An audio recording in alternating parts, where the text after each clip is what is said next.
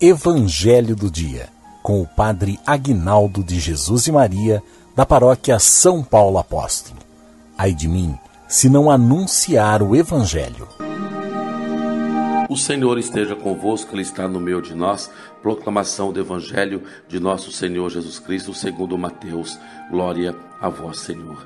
Naquele tempo disse Jesus aos seus discípulos: em vosso caminho anunciai: o reino dos céus está próximo. Curai os doentes, ressuscitai os mortos, purificai os leprosos, expulsai os demônios. De graça recebeste, de graça deveis dar.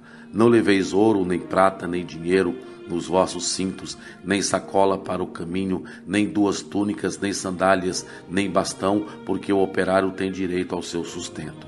Em qualquer cidade ou povoado onde entrardes, informai-vos para saber quem ali seja digno hospedar-vos com eles até a vossa partida. Ao entrardes numa casa, saudai-a. Se a casa for digna, desça sobre ela a vossa paz. Se ela não for digna, volte para vós a vossa paz. Se alguém não vos receber nem escutar vossa palavra, sai daquela casa ou daquela cidade e sacode a poeira dos vossos pés. Em verdade vos digo, a cidade de Sandoma e Gomorra serão tratadas com menos dureza do que aquela cidade no dia do juízo. Palavra da salvação. Glória a vós, Senhor. E a palavra do Santo Evangelho perdoe os nossos pecados em nome do Pai, do Filho e do Espírito Santo. Amém.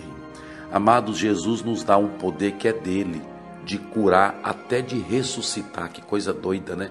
Isso é dele. E nós não fazemos como Jesus, claro que não, porque Jesus faz no seu próprio nome. Nós fazemos no nome de Jesus, na pessoa de Jesus, mas ele nos deu como cristão essa graça, este poder no nome dele, porque é o nome dele que cura, é o nome dele que liberta, é o nome dele que salva.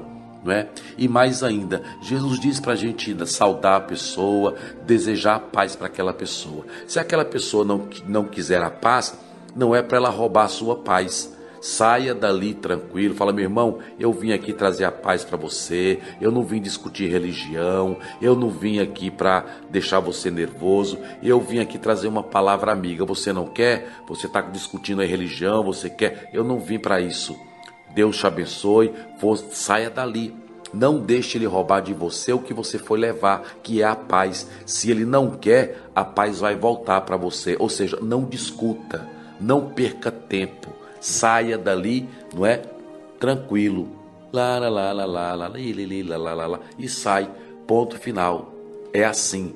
Já que ele não quer, volta para você a paz. Não deixe essas pessoas roubarem de você o brilho dos olhos, a paz, a alegria, porque nós somos de Deus. Vamos lá, vamos juntos.